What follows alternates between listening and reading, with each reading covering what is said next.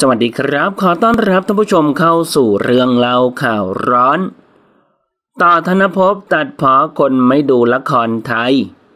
กลายเป็นประเด็นที่หลายคนกำลังถกกันอยู่ในตอนนี้เลยล่ะครับหลังนักแสดงหนุ่มต่อธนภพไอซ์สุนัทรัตน์และพลอยหอวัง มาโปรโมทภาพยนตร์วัน for the road วันสุดท้ายก่อนบายเธอ ในรายการ The Driver ทางช่อง YouTube เพราะมีช่วงหนึ่งที่ได้พูดคุยกันว่าทำไมละครไทยถึงทำให้ดีเหมือนซีรีส์เกาหลีไม่ได้งานนี้ต่อก็ได้แลกเปลี่ยนความคิดเห็นว่า จริง ๆ แล้วอยากให้เชื่อมั่นว่ามันไม่ได้ต่างกันขนาดนั้น แต่เราต้องยอมรับว่าคุณภาพบางอย่างเราสู้เขาไม่ได้จริง ๆ พร้อมกับตัดพ้อว่าในฐานะนักแสดงเจ็บใจนะเว้ย ผมจิตทุกครั้งเวลาที่ใครก็ตามบอกว่า ฉันไม่ดูละครไทย ฉันไม่ดูหนังไทย บางครั้งแค่เป็นคำถามเล็กๆ ว่าเราผิดอะไร เราไม่ดีอะไรวะ คนรอบตัวเราแม่งเก่งหมดแล้วเก่งจริงด้วย เนี่ยเอาแค่ที่นั่งตรงนี้ ที่ผมทำมาคือเก่งหมดแล้วทุ่มเทหมด แต่มันมีบางอย่างที่คุณไม่รู้หรอกว่าเพราะอะไร ถามว่าถ้าทำถึงจุดนั้นได้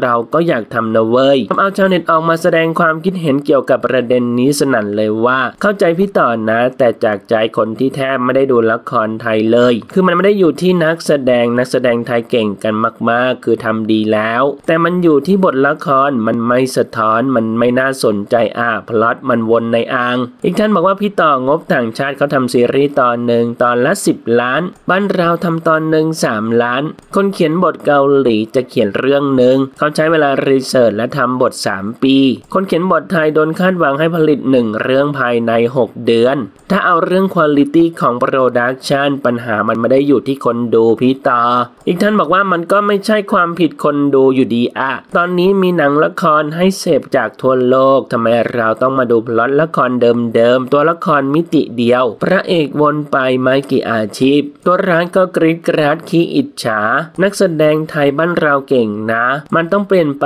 ที่หมายเซตผู้จัดผู้สร้างและนายทุนด้วย อีกท่านบอกว่าโทษคนดูกันเก่งเวอร์ สมกับเป็นประชาชนในประเทศแบบนี้จริง ไม่เคยพูดเลยว่าทำไมไม่ได้รับการสนับสนุนแบบนั้นแบบนี้ ไม่เคยพูดถึงในมุมมองนายทุนทีมเขียนบทคนข้างบน คือจากหรืออะไรพวกนี้เลย มันคงยากสินะ แต่ทนว่าคนดูไม่ดูง่ายสุดละ เรียกได้ว่างานนี้ชาวเน็ตออกมาแสดงความคิดเห็นกันอย่างหลากหลายเลยทีเดียวครับ ส่วนหนึ่งก็เห็นด้วยที่บอกว่านักแสดงไทยเก่งๆ มีฝีมือเยอะแต่หลายคนก็มองว่าการพูดแบบนี้เหมือนจะเป็นการโยนความผิดให้คนดูไปน้อย เพราะที่หลายคนไม่ดูนั้น เพราะว่าบทมันซ้ำซาก ตัวละครมิติเดียวและการเก็บข้อมูลมาทำนั้นก็ไม่สมจริง เพราะอย่างซีรีส์เกาหลีถ้าจะทำเกี่ยวกับหมอก็จะมีการเก็บข้อมูล และมีฉากการพูดคุยหรือการผ่าตัดที่สมจริงมากนั่นเอง ท่านผู้ชมครับ มีความคิดเห็นอย่างไรกับเรื่องนี้ลองแสดงความคิดเห็นกันเข้ามาดูครับ ขอขอบคุณข้อมูลจากขอบข่าวขอบคุณครับ